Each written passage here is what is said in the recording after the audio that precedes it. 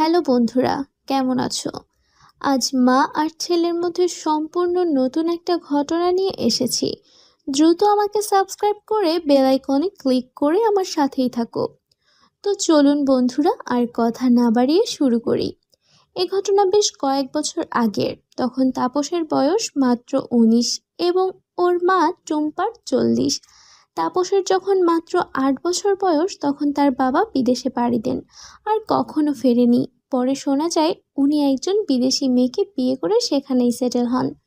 তবে উনি বিদেশ থেকেও নিয়মিত টাকা পাঠান, যা ভারতীয় মুদ্রায় অনেক। এছাড়াও শহরের প্রাণকেন্দ্র ছয়টি দোকান উত্তরাধিকার সূত্রে পাওয়া যার ভাড়া নিয়মিত টুম্পার মান নামে জমা পড়ে। এছাড়াও টুম্পার বাবা মা এর সম্পত্তি অনেক। কলকাতা ছাড়াও মুর্শিদাবাদে একটা বিশাল বড় বাড়ি আছে, যা তাপসের নামে দিয়ে দিছে। কাজেই টাকা পয়সার কোনো অভাব কোনোদিনও দিয়ে দেয়নি। তাপসের দাদু দিদা গত হয়েছেন তাপসের যখন সতেরো বছর বয়স তখন। কাজেই দু বছর ধরে তাপস ও টুম্পা একে অপরকে ছাড়া আর কেউ নেই। তাপস পড়াশোনায় ভালোই। কলেজের বন্ধুবান্ধব বিকেলের রোদে নিয়মিত ক্রিকেট খেলা নিয়ে জীবন বেশ ভালোই কাটছিল। কিন্তু একদিন হঠাৎ ঘটে গেল এক ঘটনা। সেদিন দুপুরে তাপসের কলেজে দুটি ক্লাস হয়ে ছুটি হয়েছিল।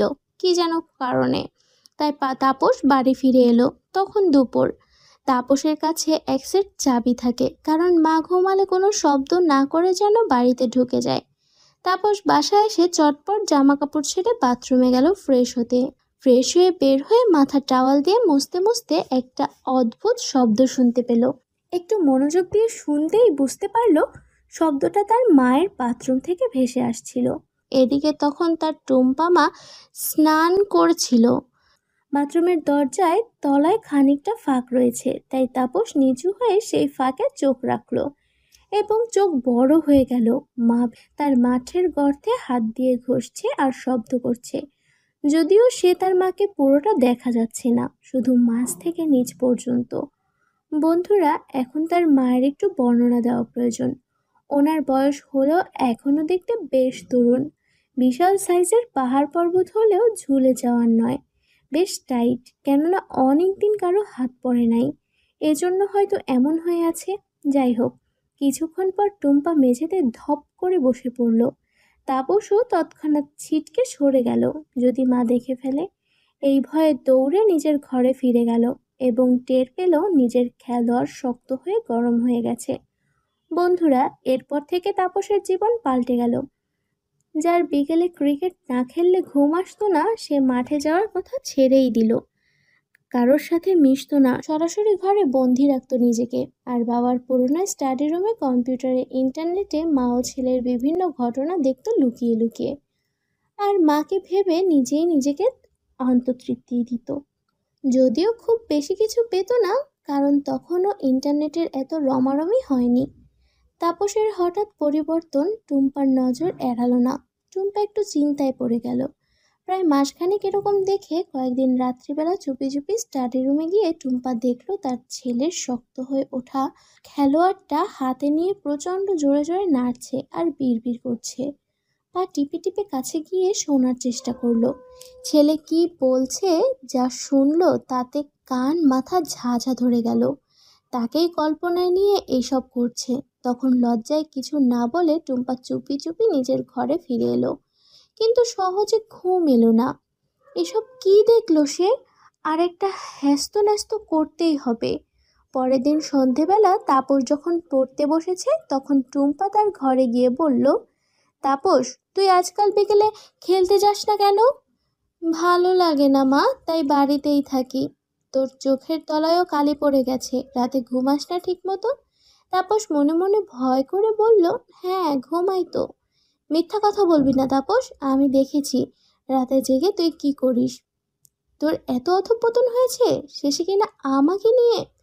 টুম্পা লজ্জায় আর বলতে পারল না। তাপসের হঠাৎ খুব রাগ হয়ে গেল।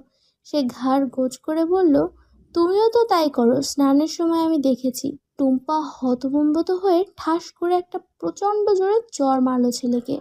তাপস ছিটকে মেঝেতে পড়ে গেল। তাপস কোনো কথা না বলে উঠে দাঁড়িয়ে মাকে ধাক্কা দিয়ে দৌড়ে বাড়ি থেকে পালিয়ে গেল।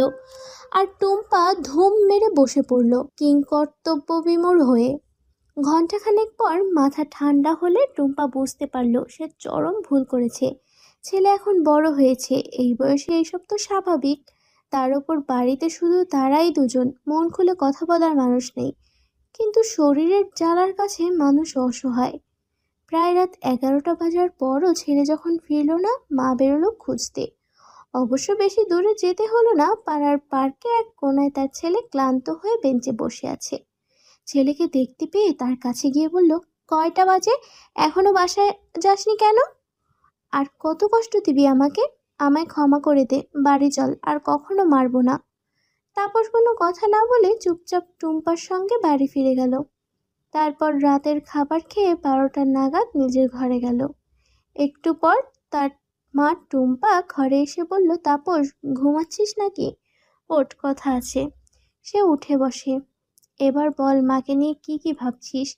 এসব কথা মনের মধ্যে চেপে রাখা ঠিক না।